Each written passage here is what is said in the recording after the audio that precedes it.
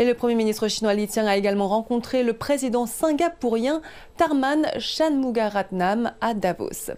Li Qiang a déclaré que les deux nations avaient amélioré leurs relations l'année dernière pour en faire un partenariat global de haute qualité et orienté vers l'avenir.